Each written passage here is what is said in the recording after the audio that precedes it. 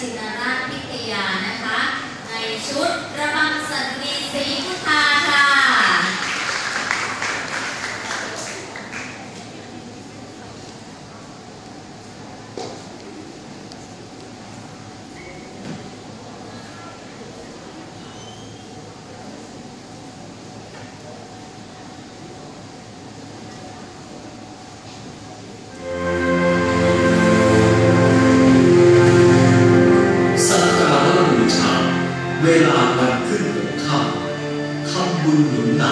ถึงสิบสองค่ำเดือนสามตามแบบโบราณฟังธรรมกราบกรานพระพุทธชินราชเทียบเดือนมกราคมเรียกงานนักใหญ่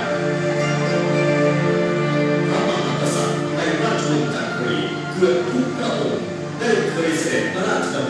เนิน ค์พระพุทธชินราชมาหลายยุคหลายสมัย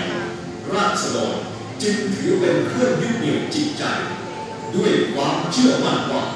แม้ยามที่เมืองพิษณุโลกเกิดศึกสงครามหรือในยามสงบสุของค์พระพุทธชินราชก็เป็นที่พึ่งทางใจ แก่ประชาชนทั่วไปตลอดมางานสมโภชพระพุทธชินราชหรืองานวัดใหญ่ที่ชาวบ้านเรียกเป็นงานบุญเดือนสาม ที่สำคัญของชาวพิษณุโลกมีการจัดอย่างใหญ่โตมโหฬารได้กลายเป็นประเพณีประจำปีสืบเนื่องมาจน